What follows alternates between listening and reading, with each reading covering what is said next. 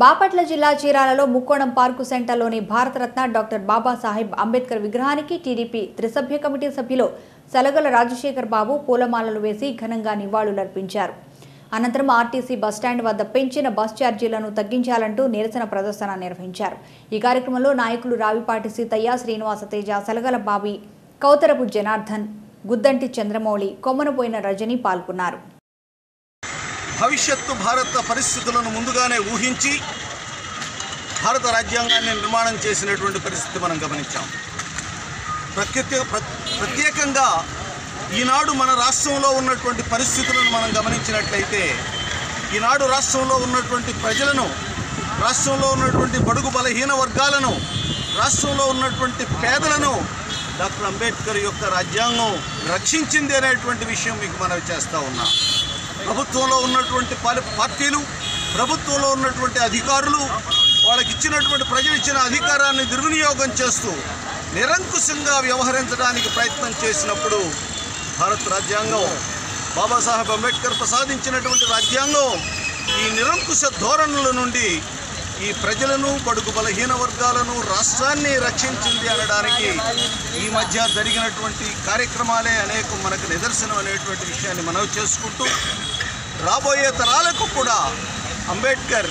ఆదర్శ పురుషుడుగా నిలబడి ఈ భారత జాతిని ఒక తాటి మీద నడిపించడానికి అవసరమైనటువంటి సమస్తాన్ని ఇచ్చినటువంటి అంబేద్కర్ గారికి తెలుగుదేశం పార్టీ తరఫున హృదయపూర్వకమైనటువంటి నివాళులు అర్పిస్తూ ఆయన ఆలోచన విధానాన్ని కొనసాగించే దానికోసం తెలుగుదేశం పార్టీ నిరంతరం కృషి చేస్తుందని మనం చేసుకుంటూ సెలవు తీసుకుంటాం. రాజ్యాంగ స్ఫూర్తి బడు బలహీన వర్గాలకే కాకుండా దేశంలో ఉన్నటువంటి ప్రతి పౌరుని కూడా అనేకమైనటువంటి హక్కులు విధులు బాధ్యతలు ఇచ్చింది. వీటిని భంగపరిచే విధంగా నేటి పాలకులు ప్రవర్తించడం దాన్ని బాబాసాహెబ్ గారి ప్రసాదించినటువంటి రాజ్యాంగ ప్రకారంగా కోర్టులు వాటిని వాటి హక్కులతోటి వీళ్ళు చేసేటువంటి దుర్మార్గాలను ఏ విధంగా అయితే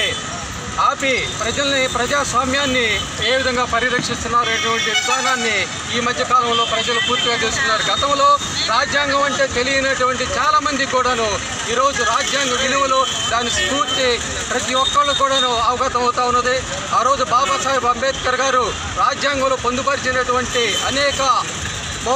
ఆదేశ సూత్రాలు ఒకసారి మనం కనుక ఆలోచించినట్లయితే బీసీలు అంటే వాళ్ళు భవిష్యత్ తరాల్లో బ్యాక్ బోన్ టు ద కంట్రీగా ఉండే ఎదగాలని చెప్పని అలానే షెడ్యూల్ క్యాస్ట్లు అని అంటే ఎస్సీలు అనే షెడ్యూల్ క్యాస్ట్లు కాదు సొసైటీ కన్స్ట్రక్టర్గా మిగిలిపోవాలని చెప్పనని అలానే ఎస్టీలు అంటే షెడ్యూల్ ట్రైబుల్ కాదు వీళ్ళు సొసైటీలో టాపర్స్గా మిగలాలనేటువంటి ఆశయాలతోటి రాజ్యాంగాన్ని నిర్మించడం జరిగింది. బాడీలో ఏదైనటువంటి ఒక భాగం బలహీనంగా ఉంటే శరీరంలో ఏ విధంగా మనిషి అనారోగ్యంగా ఉంటారో అదేవిధంగా అనేక ఈ బలహీన బడు వర్గాలు కనుక అణిచివేత గురైతే దేశం కూడా అదే విధంగా అట్టడుగు వర్గ అట్టడుగున తొక్కబడుతుందనేటువంటి ఆ- ఆ రోజే కనిపెట్టే అన్ని అన్ని వర్గాలు